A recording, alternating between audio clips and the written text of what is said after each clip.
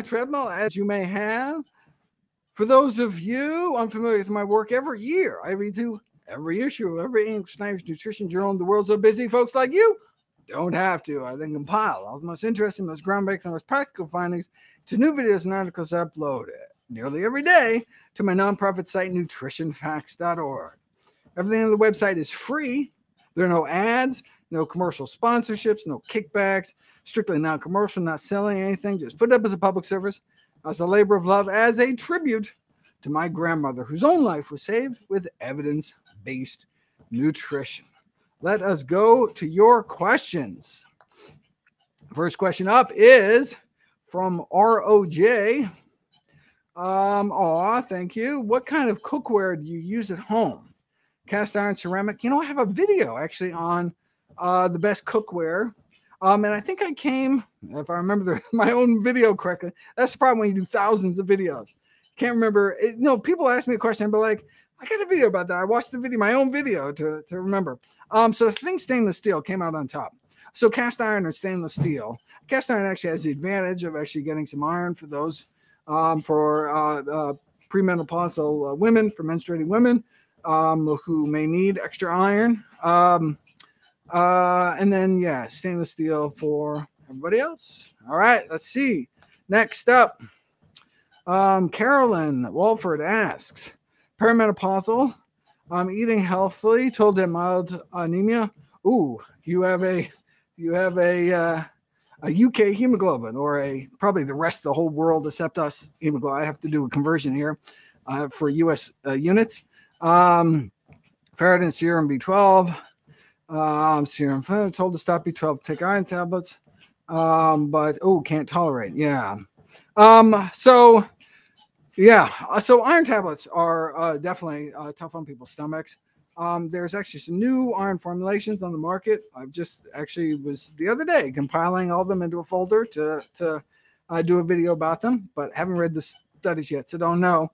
Um, uh, the um, if indeed your hemoglobin is too low, if you're anemic, which I can't tell by your units, um, uh, then uh, I, in addition to eating iron-rich foods you, um, with every meal, you want to eat vitamin C-rich foods with every meal to improve the absorption of that iron. So people eating plant-based diets actually get more iron than other people, but it's a non-heme iron that isn't absorbed as well. But you can improve its absorption by eating vitamin uh, vitamin C rich foods, so citrus and tropical fruits and bell peppers and broccoli with your meals at the same time in your stomach with the iron rich foods like um, you know legumes, whole grains, etc. Um, and then you want to avoid the iron absorption inhibitors at again at the same time, like tea is the is the primary one. Um, so you don't want to drink tea with your meals. Like we're talking about black tea, green tea from the actual tea plant. Um, uh, so, um, so if you want to drink tea, drink tea before your meals. Let it drain out your stomach before you actually get food in there, so it does not prevent the absorption of that iron. All right, next question. Um, which I'll randomly click at. Man of constant sorrow uh, says I'm 40, still got acne. I don't know if that's why you're sorrowful, but um, any advice? Um, so a typical advice um, is to cut down dairy intake. Presumably you're already doing that. And so the other thing is high glycemic in um, index foods or high glycemic load foods. And so that would be, you know, powdered grains, um, uh, added sugar foods. So stop drinking soda, that kind of stuff. Um, and uh, move to, you know, intact whole grains, etc. And that should help with your acne. All right, next question is it's from Sil- Sylvie Fashion Fashion House. Um, what should I do? 27. Um, stop menstruating. Um, and uh, so um, it's possible that you have um, you, um, uh, you've lost so much body fat that your body actually thinks you're in kind of a starvation situation um, and so says, "Oh, I better hold off on having children until you know things get better. The harvest gets better." Um, and so that's one of many reasons you can stop uh, menstruating. But I would go to your physician; they can do some lab work uh, look at your hormone level and see what's going on. But that's a very common, particularly for young female athletes. Um, they're very active. Their body fat gets very low. Um, and that's kind of a trigger to your body that, uh, ooh, we, this might not be a good time to have kids. Um, so, and the reason it's so important is, I mean, so you can imagine some people thinking, great, I don't have to worry about, uh, you know, uh, my period. The problem is that um, this can um, impair bone health long term. So it's critically important that you get your body back moving again. All right, next question. Jeremy says, I'm oh looking for a colon cleanse for smelly gas. Uh, despite eating healthy, what can I do? Um, you should only cleanse your colon from top to bottom, not from bottom up. Um, and I've got some videos about why it's not why um, uh, that's not a good idea. Why um, things like coffee enemas, etc., are not a good idea. Um, uh, and so, um, what can you do? Presumably, this is a kind of a gut microbiome thing. You may have some something brewing, whether you took some antibiotic or something, just knocked your uh, knock things off. The most important thing you can do is feed your good microbes. So there's some bad microbes down there that may be producing these um, these smelly gases, and so you want to crowd them out with the good ones. What do you do? Well, you feed preferentially feed the good ones by eating prebiotics. What are prebiotics? That's fiber resistant starch. So you know legumes, whole intact grains, um, to feed your good bacteria so they can crowd out the bad bacteria and so you can help with an issue like that. Okay, Lynn Roy says, is Olma, I guess this should be Amla green tea, better for you than a quarter teaspoon of Amla powder? So I believe this is a typo for Amla, which is dried Indian gooseberries. Um, uh, and so I've actually never seen Amla green tea on the market. This sounds disgusting. Um, but I can't imagine it would contain a quarter teaspoon of amla powder. And even if it did, you would only get the water soluble components if you kept it in a tea bag or something.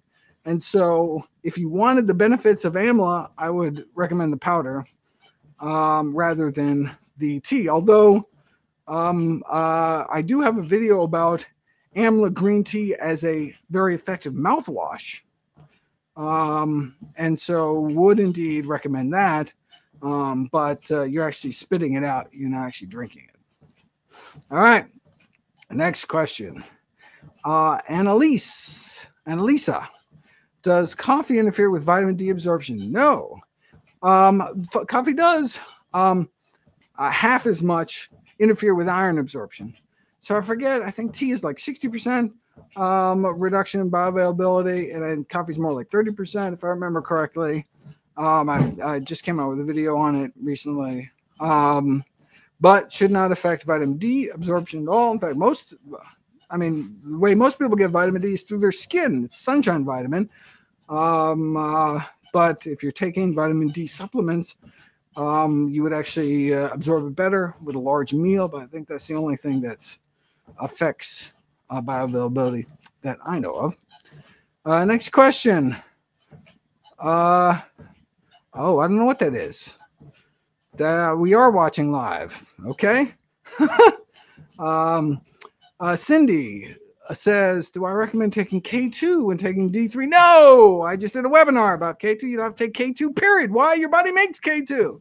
You say, wait a second, what if I don't have a good microbiome? No, not your microbiome, your actual body. The cells in your body make K2 from K1. Where are you going to get K1? Dark green leafy vegetables. Eat your greens and don't worry about your K.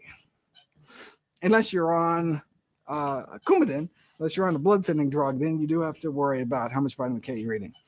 All right, Sebastian Ian says, is it safe to eat mushroom powder with food every day? Maybe one to three tablespoons better to take it for a week and stop for a month. What kind of mushroom powder are you talking about? Um, so I, I'm trying to think. The only concern would be uh, raw um, uh, kind of white mushrooms. So raw white mushrooms or raw portobello or raw crimini mushrooms. These are all the same mushroom. Um, and the, uh, the the Agaricus genus mushrooms have something called agaritine, which is uh, destroyed by cooking. So that's why we want to cook our white mushrooms or portobello mushrooms. Um, not something you have to worry about with shiitake mushrooms or oyster mushrooms. So um, that's the only concern I would imagine, because presumably they don't cook the mushrooms before they powder it.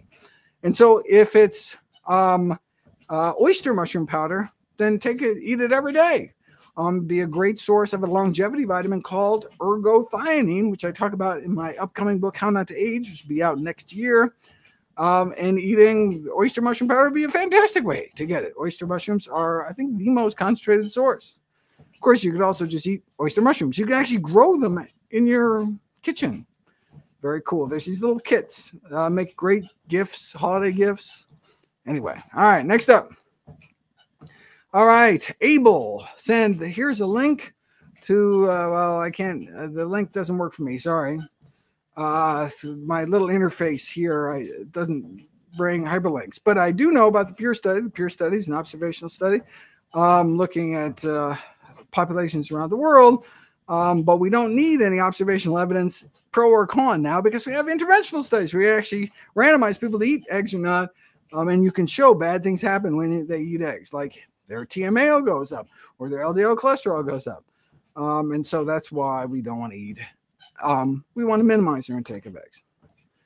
All right. Um, someone's just responding to somebody else.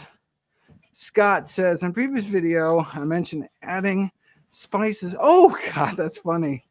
Uh, um, uh, I don't know where I mentioned this, but yeah, it's something I'm going to talk about.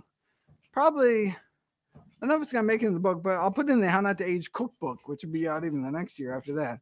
Um, so uh, the background is that you know I recommend you know you eat a quarter teaspoon of turmeric every day, and I like the I mean I like the taste of turmeric in some things like curry, like I'll put turmeric in curry, but if I want to eat turmeric every day, I'm not eating curry every day, and so I just found like everything tasted like curry. Ugh. All right, so I mean which I don't know if you really like the taste, um, but uh, but so I had I had difficulty following my own advice, um, and so what I did is I used turmeric capsules.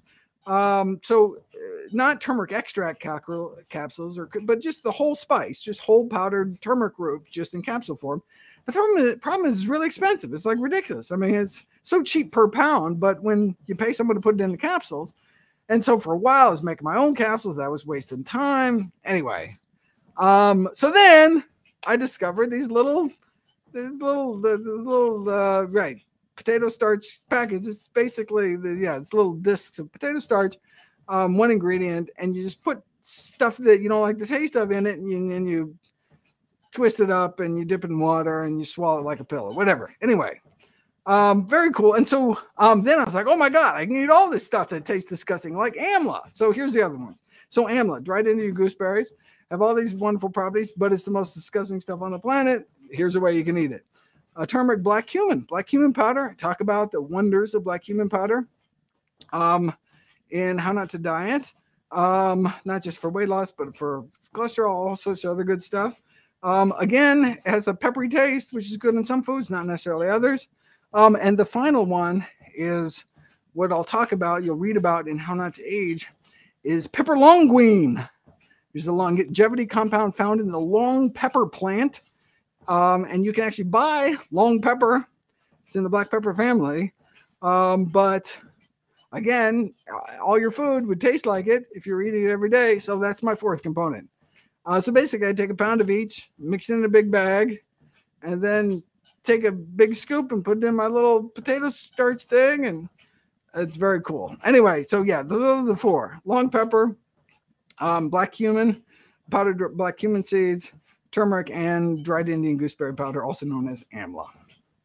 All right, next up, Welsh alcoholic says, Why is life so short? Well, maybe because you're an alcoholic. Um, is it even worth eating healthy if you're going to die soon anyway? Um, eating healthy and living an extra 15 years doesn't exactly seem worth it. I guess it depends what you do in those 15 years. Um, uh, uh, and I mean, uh, it's possible that we're going to figure out aging.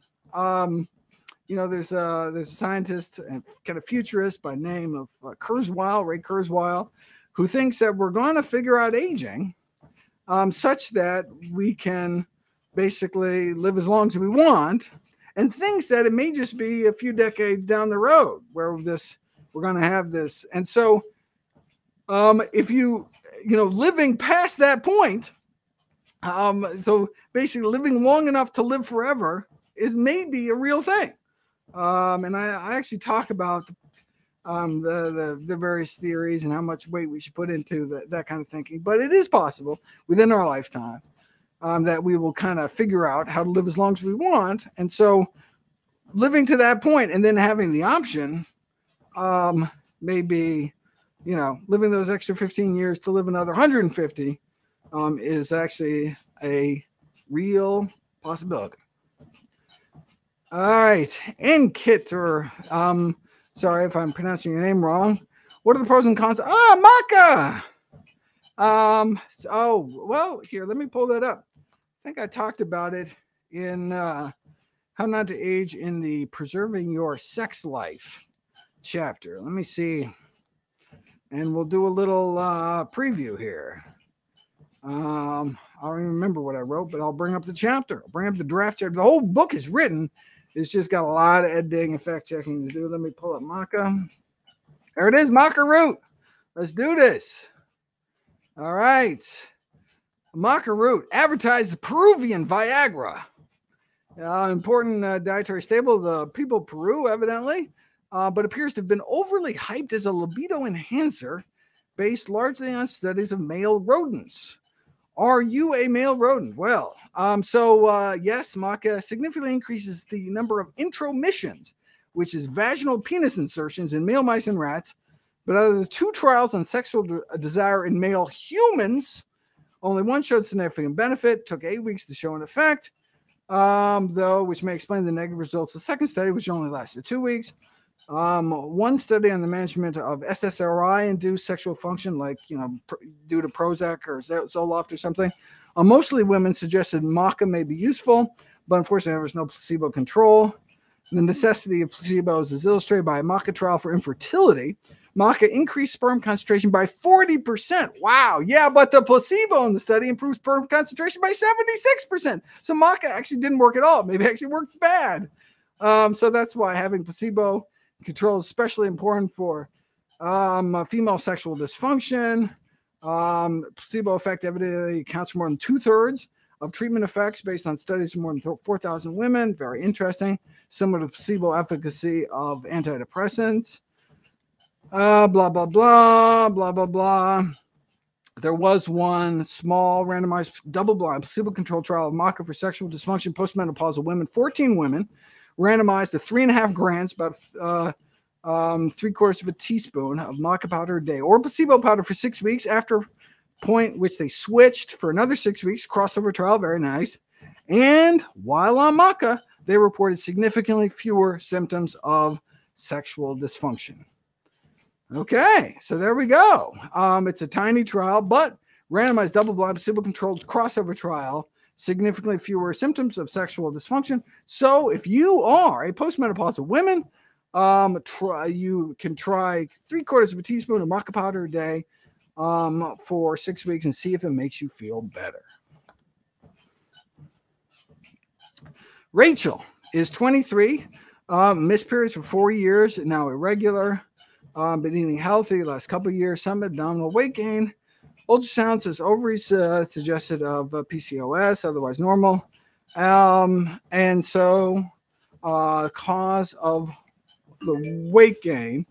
Um, so, of that, one of the um, this kind of characteristic of PCOS can be weight gain, can be uh, uh, excess uh, hair growth. There's kind of a list of, of symptoms, um, but uh, the, the kind of period period irregularity is kind of a characteristic symptom as well. Um, and so it just may, because of the hormonal changes, it just means you may have to eat even healthier than everybody else to uh, to achieve um, uh, an ideal weight. And I would encourage you to do that. Um, that's I wrote a book for you, How Not to Diet. Go to your local public library, pull it out. Um, you can basically ignore the first half of the book where I argue for why we should eat a whole food plant based diet, concentrate on the second half of the book which gives kind of 21 ways, my so-called 21 tweaks on how we can accelerate weight gain if you're already eating healthy. All right, next up, um, uh, Goggin. Oh, I shouldn't even pronounce these names. You know I'm getting them wrong, and I apologize, sir. I feel a plant-based diet is not very fulfilling. How can I make it very fulfilling so I don't have to eat again and again? Um, well, I mean, it's it's it's true that healthy foods are calorically dilute, and you may have to eat more food than you're used to eating before. Otherwise, you're not going to feel satisfied. Um, and so, eat more food. You may have to eat more frequent amounts of food, um, particularly if you're losing too much weight. Um, uh, but uh, uh, you can stick with some of the more calorically dense foods. So, you know, rather than just fruits and vegetables, you know, whole grains, legumes, nuts and seeds, avocados. These are calorically dense foods. Um, trail mix kind of foods, mixing nuts and dried fruits, another calorically dense food um, that may make you feel more uh, fulfilled, satiated. All right, my backyard engineer, not necessarily my backyard engineer, but um, uh, any recommendation for someone who's been dealing with post viral syndrome and post exertional malaise for the last um, two years? You know, I've been looking into that because I wanted to do some videos on long COVID. And, you know, it's just too early. And so uh, there hasn't been a dietary trials. There actually are a few papers suggesting plant-based diet may help kind of theoretically, um, based on theoretical basis. So urging trials to be done that haven't actually been done. Um, so, I mean, we do have trials showing that people who are eating plant based uh, seem uh, significantly less likely to get COVID in the first place and uh, more likely to have a, um, a mild course. But in terms of what happens for long COVID, hasn't been done yet. Um, and so that's, I mean, that's basically what long COVID is, this kind of post viral syndrome. And unfortunately, uh, we don't uh, really know what's going on in the body. We presume it's some kind of inflammatory mechanism. Um, and so one would presume an anti-inflammatory diet like whole food diet would help. Um, but uh, that's uh, and you're saying, look, I'm already eating healthy. So you can eat particularly anti-inflammatory foods like uh, chamomile tea, um, you know, dark berries, that kind of thing, and see if that helps. Unfortunately, um, there's there's just not much science out there. Hopefully, there'll be a flood of new science based on long COVID and whether or not you're dealing um, with um, uh, whether the post-viral syndrome you're suffering was from COVID or not. Maybe the same things will help. And so maybe the in the end, the pandemic will be good for you because finally there'll be research um, uh, for your condition. Karen says, "Is the sunflower oil used in algal omega-3 oils a problem? I'd a teeny amount. I wouldn't worry about it. I mean, it's just empty calories, but it's literally 10 empty calories. So yeah, that's something I'm worried about. And you're not going to tip your omega three, omega six balance with you know, you know, a gram of oil. Um, uh, Marcel says, "Do you have any food recommendations for oh for dialysis or you try um, transplant patients?" Um, um, so for those with kidney failure, with chronic kidney disease, kidney transplants, where you're really trying to protect your kidneys, it's all about low protein, um, uh, plant-based diets, whole food plant-based diets. Um, uh, but dialysis is different um, because dialysis you have no kidney function, so it's very critical to you know make sure you're not getting too much phosphorus, too much potassium, and so you really have to work with a renal dietitian. Um, but you can still, of course, eat healthy because leading cause of, of death for people with kidney disease is actually heart, heart disease. Most people with kidney failure don't actually make it to dialysis because they die of a heart attack first. So critically important to eat healthy um, if your kidneys aren't working properly. Okay, Word, Wordibus, Wordibus says, why, oh, why aren't peanuts in the Daily Dozen app? Uh, well, they should be. I mean, they should be on the nuts and seeds, even though they aren't technically nuts and seeds, technically legumes, but uh, nutritionally they can be dealt with as nuts and seeds. Um, in terms of well, so in the app, basically, I listed the uh, examples uh, so I obviously didn't list every, like under vegetables. I don't list every vegetable. So you can say, why aren't artichokes? I don't know if artichokes are on there or not. Well, it's, it's just because there's a long list. So I'm sure there's lots of nuts that didn't make the cut. And again, it's I was just these are examples. Um, uh, uh, and mostly based on what I was eating. Like these are the daily dozen foods I eat. And uh, so, uh, why don't I eat peanuts? Because they're healthier nuts. So, for example, walnuts probably the healthiest nuts. And so, if I have an option between walnuts and peanuts, I'll eat some walnuts. All right. Oh, Rachel's back. I think the same Rachel. Uh, what's my opinion on retainers? Oh, interesting. To maintain tooth position, worn for life or at home tooth uh, whitening trays. Retainers to maintain. Yeah, you would have to ask a dentist or periodontitis or periodontist. Um, uh, yeah, I do not know anything about um, retainers.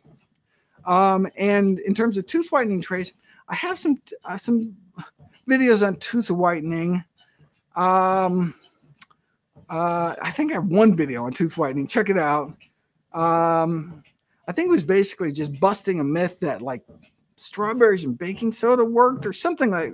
I, I, I don't exactly remember. Um, but uh, but from what I know about the you know kind of the peroxide gels that they use in tooth whitening trays, I, the, the downsides are pretty much just you can get gum irritation, you can get some pain, some kind of little shooting pains. I don't know. I mean, it's it's, it's cosmesis. It's just for cosmetic effect. Um, uh, so I mean, I don't know, but I mean, they, they I, I, I've never run across any uh, work suggesting that there's any kind of major downsides, though it's not something I've really looked into.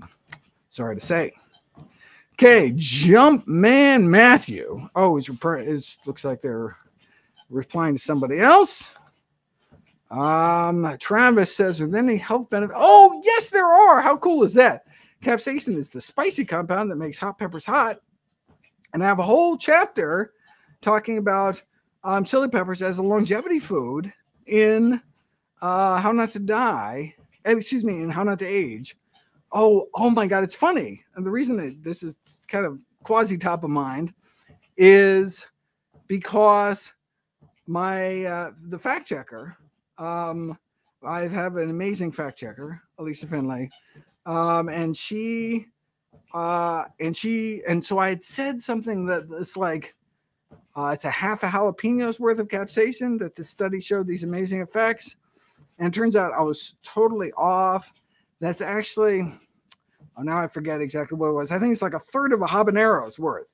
And anybody who knows jalapenos and habaneros knows that's a big difference. Um, and then so it's like a third of a fresh habanero's worth a day, or I think it was like a teaspoon of like mildly hot red pepper powder, which might be easier. I don't know. But uh, anyway, I was way off, but was corrected. Um, but uh, you can read all about the benefits of capsaicin and spicy foods in How Not to Age, which will be out in 13 months. Okay, only got one minute. Let's see do a really quick question. Oh, what about phytic acid compound? Sounds like reduces nutrient absorption. It does in puppies. It does in rats. Um, and that's why we thought it was a um, it was a so-called anti-nutrient. But when actually, when but in people, phytates or phytic acid, same thing, actually has beneficial effects. So type in phytates into nutritionfacts.org and you will be amazed, and you will no longer soak your nuts. Um, because people soak their nuts to get rid of phytic acid. You don't want to get rid of phytic acid. I guess you can soak your nuts and drink the water, but why would you do that? Anyway, uh, phytic acid is a good thing. Um, and so check out phytates and nutritionfacts.org. Thanks everyone uh, for stopping by for Q&A. I'm off to uh, another interview in 23 seconds. And uh, see you next month. Have a wonderful holiday. If I miss you. How do you turn this thing off? There we go.